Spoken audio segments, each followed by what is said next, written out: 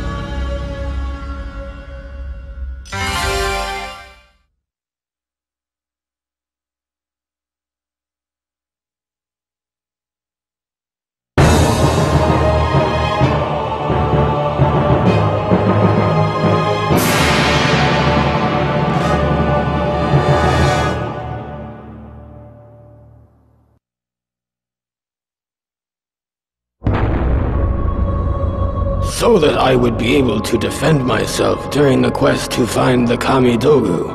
Onaga had given me the power to absorb the fighting ability of any warrior I encountered, but his gift would prove to be his undoing.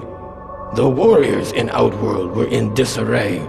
Heroes were not focused on the true threat of Onaga, and villains were unaware that they were bringing about their own destruction by serving him.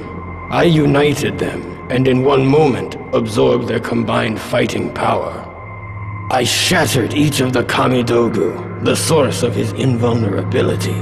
This weakened Onaga, and I attacked him without mercy.